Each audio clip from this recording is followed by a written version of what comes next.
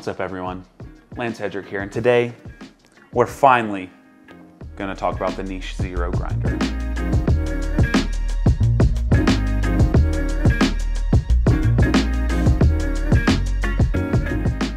All right, so I have had this grinder now for exactly one year. I got it on May 31st of 2021, and I'm shooting today. Actually, it's June 1st, 2022. So I guess one year and one day. And the reason for that is because, well, this is arguably the most hyped home grinder of all time. Everybody seems to want one. The prices keep going up around the world.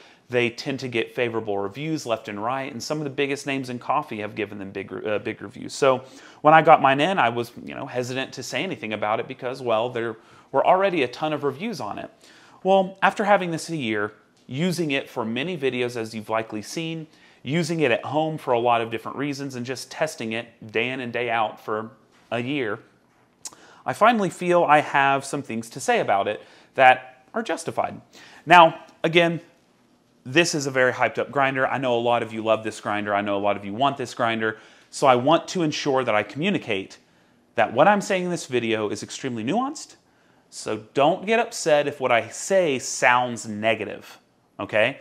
There are some pros and cons, in my opinion, on this grinder. And I also want to just take a look at why it's received the hype that it has. And I have some theories as to why. And then we're going to make some coffee with it. And we're going to just talk about the flavor profile that I have picked up on over the past year. So, first of all, let's just go into the pros because there are incredible pros on this machine.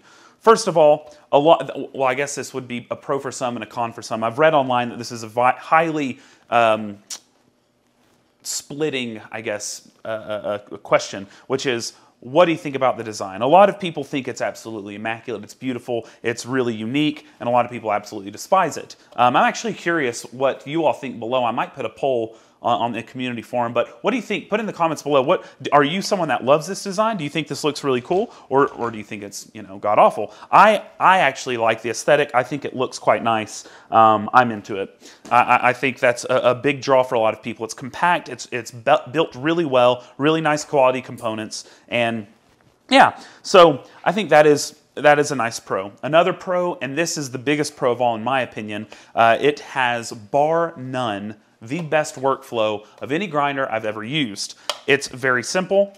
Pop the lid. Whoops. Don't throw it aggressively like that. You pop the lid, you dump the dose, toss it down, turn it on, turn it off. It's not plugged in right now, sorry.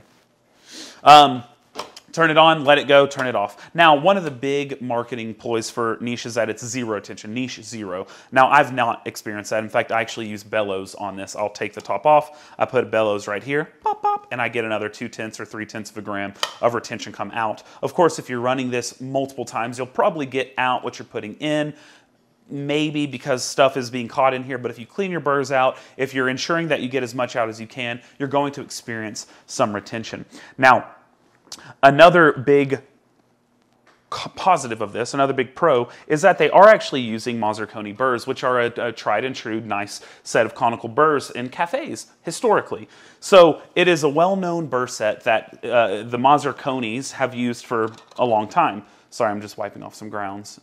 Um, so it, has got a, a well-established burr set inside of it. Um, yeah, so it, there, there are some really great pros about this machine objectively. Objectively, the uh, workflow I think is the best, and objectively, uh, the design is unique. Uh, now, whether or not you're on the side of loving it or hating it, who's to say? Again, I'd love to hear in the comments below.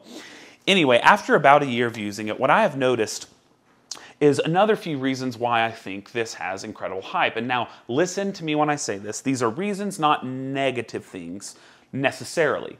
These are just my observations as to why I think it is now sold out constantly. You have aftermarket prices, you have massive up pricing on certain countries, etc.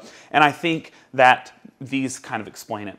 Uh, number one is uh, is that workflow that I noticed mentioned earlier that is absolutely objective. I think that that is a huge appeal for a lot of people because you don't have to fill up a hopper, you don't have to hack a machine for single dosing, you don't have to fool around with bellows. There's not a lot of static. You can use RDT for this, but it's not a super staticky machine like the DF64 or some others. It, it does a good job. Uh, and so I think that is one of the big reasons that it is super famous. Second big reason, and I think this is a massive reason, this machine gives even the most novice of coffee brewer, the most the most green in, in the coffee world, and a coffee enthusiast that just started, it is going to give them good coffee. Good coffee, like pretty pretty decent coffee, because it has an incredibly wide particle distribution. Now, I recently saw from a friend who has access to a laser particle uh, diffractor I saw a comparison between this niche and then a Breville uh, grinder that had the six core Etzinger burrs in it. Now, in the US, I don't think we have any of the grinders with that. Most of them are pentagonal, it's the five spokes. Uh, but there are some models released around the world that have the ones made by Etzinger and Liechtenstein uh, that have six spokes uh, that are much nicer burrs, much more similar to what you would find in like the Sette and other like Baratza grinders that use Etzinger. Etzinger. Um, anyway, I saw this, uh, this objectively diffracted laser analysis uh, of many of many samples, and the niche had a much wider distribution than this Breville with the Etzinger burrs. So, I mean, that's that's pretty telling, first of all. But also, I think what's happening is because it's such a wide particle distribution, you're able to get uh, inside of that hump that range. Essentially, if you think of good shots in a big bell curve, the bell curve is more flattened with the niche. So you can have from here to here is going to be like good shots. Now, it is more flattened, so the best shot is going to be like 70% of what full potential might be, right? So you have like this big long curve. So even people who are just starting, they can pop it in second try, they're going to get like a good shot and they're to feel good about themselves and they're to attribute it to the grinder, which they should because the grinder is doing that. Um, now, on top of that, uh, uh, uh, something I like to bring up when discussing the particle distribution of this machine is, is I like to use this analogy. Now, if you aren't familiar with golf at all, this may not help a lot, but essentially in golf, when you just start, you get a style of clubs called cavity backs. They're kind of bigger faced irons, and they have a bigger sweet spot. Now, as you progress in golf, you tend to move to what are called blades. They're much smaller golf heads, uh, iron heads. They're very small, uh, but they give you a much more control. So people on the PGA Tour, you're seeing them with these style of clubs called blades. But when you're just starting out, or if you're kind of an amateur, or if you're just playing for fun and you're not, you know, you're not trying to make any tours, you're likely going to play with cavity backs. They have a much bigger sweet spot. It's a lot easier to hit them, but you don't have as much control. And a 100% shot on that is not the same as a 100% shot with blades. So similar thing is happening here. Though you can max out and get a perfect shot that this can uh, give you, it's not going to match, say, um, you know, other grinders that have uh, a, a, more narrow particle distribution. Now, I'm saying all this, I know a lot of you are like itching that uh, I'm saying something negative. This is not negative. This is 100% a subjective thing in the sense that your taste, taste in general is subjective. What this produces may be perfect for you. You may like grinders with massively wide particle distributions, and that is completely valid. Everybody throughout Italy loves Robusta that's really dark with really wonky extractions and with really heavy crema. Dumping a spoonful of sugar makes a medicine go down. I think Mary Poppins wrote the song about Robusta espresso. Maybe, maybe not. For me, that's the only way I can get that medicine down. Um, that's that's subjective. It's okay for me to have that opinion. It's okay for you to have your opinion. Um, so this is making coffee easy for a lot of people, though acquiring this is not so easy. So I I don't use this ever actually for my own personal enjoyment because it tends to mute out, nullify a lot of the nuanced flavors to complex flavors that I really enjoy in coffee. What drew me to coffee, I actually started working in a traditional coffee house with pretty dark roasted coffees that were very cheap, lower quality, and I did not like coffee. I couldn't drink it. If I drank coffee, it was a maple latte, a ton of high grade maple syrup with espresso and a lot of milk to, to just mellow out that nasty bitter taste. And we were actually using Mazzer, uh, um, Mazzer uh, grinders with the Kony burrs, Mazzer Konys. And so yeah, I, I couldn't stand it. And it wasn't until I tried, I was going to say proper coffee, but that would be an incorrect, that'd be a misnomer because what is proper coffee? But then I tried a lighter roasted, more specialty, higher quality grade coffee, and I fell in love. I was trying it with flat burr, uh, grinders, and it was just a different ball game. Anyway, so that's the number two reason I think this has so much hype is it is very easy to dial in. It gives you confidence whenever you might be just starting. And then the last thing that I want to point out is confirmation bias, uh, the fallacy of appeal to like figures and professionals, and what, what, what you have is a lot of big names in the coffee world highly endorse this machine, which is great. And I don't disagree in the sense that they can endorse what they want. Like all of this is subjective. I want, I want you to know that everything I say is obviously going to have a bias towards what I prefer. I try to be as objective as possible, but I'm going to prefer sweeter, cleaner coffees. That's just the, the, facts. I like high clarity. I like, I enjoy body, but I will sacrifice body for clarity 10 times out of 10. Um, ideally, I'll get a little bit of both, but it is what it is. Uh, some people prefer texture and uh, like chocolates and kind of like bitter, more bitter compounds. Some people really like those bitters. Uh, kind of like in wine drinking. If you're a wine drinker, some people really like heavy tannins. I do not. I don't like heavy tannins. I don't want my tongue to feel bitterness, okay? So this final point is just, you know, people whom I highly respect and that I've learned a ton from, John Buckman, James Hoffmann, and, and et cetera, really love the niche grinder. And that is great. That is valid. And maybe that's a reason you bought yours, and that's fantastic. But I wanted you to know if you have been struggling with, for instance, filter coffee, it's because this does not do it. I will say this, this does not do a good job on filter. Even if you like darker coffees, the amount of fines it produces kind of just makes it so unbearably bitter that it's difficult to drink. But if you're someone that enjoys, enjoys traditional style coffees, more chocolates, more caramels, more toffees, and that sounds like the apex of flavor profile to you, this is probably one of the best grinders you can get at the price point. If you like everything else though, this is not your end game. This is going to give you, you know, 50, 60, maybe 70% of where you're wanting to get. So if you're at home and you've bought this niche because of the hype and you haven't been super stoked about it because you're trying to replicate what you're getting in like third wave specialty shops or you're trying to replicate maybe tasting notes that I've given on uh, videos or tasting notes that you see people like Scott Rao discuss or people like, um, I don't know, I can't think of anyone right now because I know I'm already getting a lot of hate comments about this, but um, yeah, that's, that might be the reason. So anyway, I just wanted to come clean about my thoughts on the niche. Um, I'm gonna go ahead and pull a shot and we'll end with just a, a little shot of espresso together. Anyway, I'm sure you noticed that the demeanor in this episode was a little different. Um, and it's because I want you to know I'm taking this seriously because this is such a hyped up grinder. I'm not, I, am not, I genuinely don't want to come off as like blasting into this because I do think it has an incredibly important position in the history of coffee. And it's, honestly, it's changed the game a lot of ways. It's, it's called other grinder manufacturers to improve their workflow and to improve the ease of use in general. Uh, so there's a lot of goods and pros about this machine.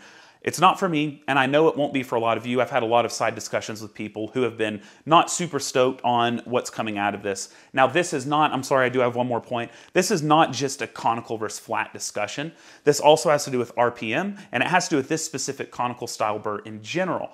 Now, with conicals, you want lower RPM, and this isn't a secret. Even Baratza with their Sette has that running at 500 RPM. This runs at 330 RPM. And then the Weber key that just came out runs only from 50 to 150 RPM. And then people wonder, you know, well, because people have sadly and, and blatantly and over the top said flat, unimodal, conical, bimodal, flat, clean, uh, conical, dirty, whatever. That is an oversimplification and needs to be retracted. So really, you can have high clarity with conical burrs, but you're not going to get it at 330 RPM. You're not going to get it at 150 RPM. You're going to get it with hand grinding speed. That's why people in the World Brewers Cup Championship use Comandantes. They use 1Zpresso K Pluses. They use Kinu M47s. It's because you can get high clarity with them because you're going very slow. RPM is something that's rarely discussed as regards flavor profile. In my experience, which I've been professionally tasting coffee for uh, about a decade now, there's a direct correlation between RPM and flavor. And in this case, whenever you mess around with the RPM of conicals and you get lower and lower, the clarity seems to increase and the, the shot quality gets better. Now, I have seen diminishing returns past about, below about, you know, 100 RPM, maybe 80 RPM. Below that, the difference is pretty minute, but from 300 to 100, there is a, there is a big difference there. So I just wanted to make sure I wasn't coming across as conical bad, flat good, though usually that is how I brew my coffees with flat burrs, but I do really enjoy hand grinders. Those are conical burrs. They're smaller than this even. It's just this specific set tends to produce a lot of fines, and it is what it is. So, all right, enough blabbling, blabbling, enough babbling, and we'll get weird on coffee. I haven't had any today. Maybe that's why I'm so calm. Okay, and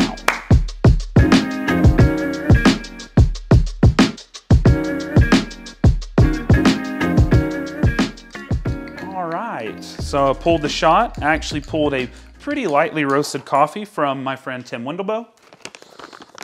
So uh, just to kind of like discuss what goes on with lightly roasted coffees pulled through the niche, I did 20 in and 50 out, which is pretty typical for me when I'm using, uh, you know, the standard Breville Dual Boiler profile, which is like a seven, eight pre, uh, second pre-infusion at about 60% pump pressure and then ramp up to around nine bar.